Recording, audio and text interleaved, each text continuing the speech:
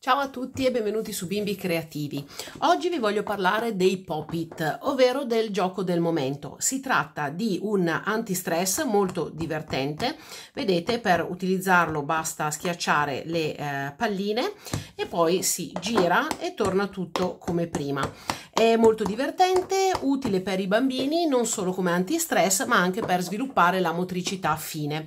Inoltre si può usare per fare dei giochi matematici e oggi vi voglio mostrare ben tre idee, tre, per utilizzare questo pop-it. Allora, idea numero uno quella di utilizzarlo appunto per i giochi matematici, quindi per addizioni e sottrazioni ad esempio. Se io voglio sapere quanto fa 8 meno 4, 1, 2, 3, 4, 5, 6, 7 e 8, vado a toglierne 4. 1, 2, 3 e 4 e quindi posso contare per ottenere il risultato come vi dicevo questo si può fare sia per addizioni che per le sottrazioni.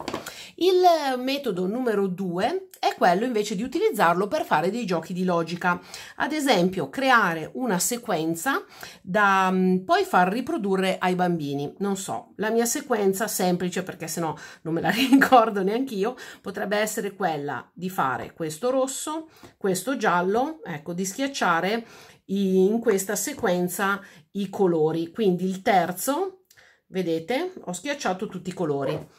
Lo rigiro, lo metto a posto e chiedo al bambino di fare la stessa cosa, quindi il bambino deve riprodurre esattamente la sequenza che ho fatto io, quindi dovrà andare a rischiacciare esattamente gli stessi colori, nello stesso ordine oppure in un ordine diverso, questo lo potete decidere con lui e eh, anche questa cosa è molto divertente e permette di giocare con i bambini e intrattenerli.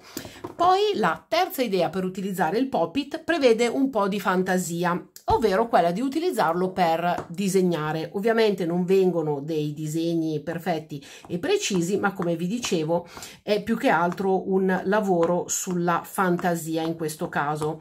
Voi non ci crederete mai, ma sto disegnando con i pop-it un pesce adesso ve lo faccio vedere. Ecco qua vedete questa è la parte la coda diciamo del pesce e questo è il corpo. Quindi con un po di fantasia questi pop-it possono essere utilizzati anche per disegnare. Spero di esservi stata d'aiuto con eh, questo video e con queste tre idee per utilizzare il pop-it se il video vi è piaciuto vi ricordo di mettere un bel like e di condividerlo perché può essere interessante per tutte le mamme che hanno deciso di acquistare per questo prodotto e non sanno come utilizzarlo oppure vogliono dei suggerimenti. Vi ricordo anche di seguirmi sul mio blog www.bimbicreativi.it. Alla prossima idea creativa, ciao a tutti!